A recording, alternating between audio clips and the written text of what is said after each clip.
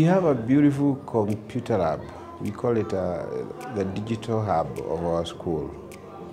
And we want our children to be digital or to be actually trained from the early onset.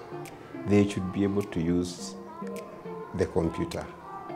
We want to have a, a digitalized kind of child. In fact, most of our learning, and that's why I said we have fun into it, is associated with that lab. After we teach a lot of a lot in class, we go back to that lab and possibly enhance the same teaching using the lab itself. So we have the computer lesson is also incorporated in our school. Every other class from the junior most to the high, to the highest or to the senior most, they have computer lessons every week. So the coding session is actually here with us and we do it every Thursday and Saturday.